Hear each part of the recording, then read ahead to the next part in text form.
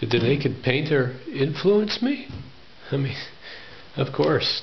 I mean, uh, who didn't he influence is more like the question. Well, the answer is nobody.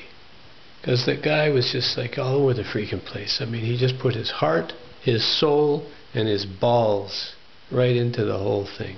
I mean, that's just what he did.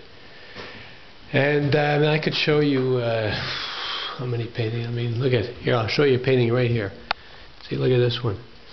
This one here is like, look at these. See these lines right here? This is pure naked painter influence. It's just like boom, boom. You know, straight, direct, to the point, right on the money. And the way to do that is to be 100% focused. It's like it's like Zen.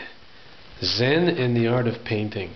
That's what the naked painter gave me personally, and that's what the naked painter imparted to the world. It's like boom, bam, straight to the point. No two ways about it. Just one idea, one mark, first mark, right mark. That's pure naked painter.